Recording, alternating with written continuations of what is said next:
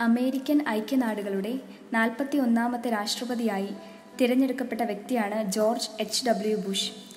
Republican പാർട്ടിയിൽ അംഗമായിരുന്ന അദ്ദേഹം ആയിരത്തി തൊള്ളായിരത്തി എൺപത്തി ഒൻപത് മുതൽ ആയിരത്തി തൊള്ളായിരത്തി തൊണ്ണൂറ്റി മൂന്ന് വരെ അമേരിക്കയുടെ രാഷ്ട്രപതിയായിരുന്നു. ആയിരത്തി തൊള്ളായിരത്തി എൺപത്തി ഒന്ന് മുതൽ ആയിരത്തി തൊള്ളായിരത്തി എൺപത്തി ഒൻപത് വരെ അദ്ദേഹം രാജ്യത്തിന്റെ ഉപരാഷ്ട്രപതിയായും പ്രവർത്തിച്ചു.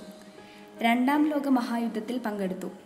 അദ്ദേഹത്തിന്റെ മക്കളായ ജോർജ് ഡബ്ല്യു ബുഷ് അമേരിക്കയുടെ നാൽപ്പത്തിമൂന്നാമത് രാഷ്ട്രപതിയായും ജെബ് ബുഷ് ഫ്ലോറിഡയുടെ ഗവർണറായും തിരഞ്ഞെടുക്കപ്പെട്ടിരുന്നു.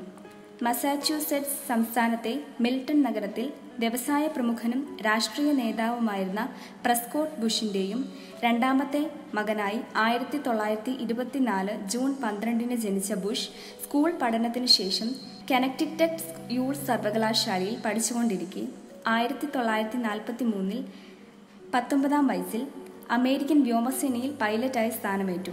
അമേരിക്കൻ ചരിത്രത്തിൽ ഏറ്റവും പ്രായം കുറഞ്ഞ പൈലറ്റായിരുന്നു അദ്ദേഹം. ആയിരത്തി തൊള്ളായിരത്തി നാൽപ്പത്തി അഞ്ച് ജനുവരി ആറിന് ബാർബറ പിയേഴ്സ് ബുഷിനെ വിവാഹം കഴിച്ചു. എഴുപത്തിമൂന്ന് വർഷം നീണ്ടുനിന്ന ഈ വിവാഹബന്ധം അമേരിക്കൻ പ്രസിഡന്റുമാരുടെ വിവാഹങ്ങളിൽ ഏറ്റവും കൂടുതൽ കാലം നീണ്ടുനിന്നതാണ് ഇവർക്ക് ആറ് മക്കളുണ്ട്. അദ്ദേഹം നവംബർ മുപ്പത് രണ്ടായിരത്തി പതിനെട്ട് വെള്ളിയാഴ്ച തൊണ്ണൂറ്റിനാലാമത്തെ വയസ്സിൽ വസ്കുലാർ പാർക്കിൻസണിസം എന്ന അപൂർവമായ ഒരു രോഗത്തെ തുടർന്ന് മരണമടഞ്ഞു.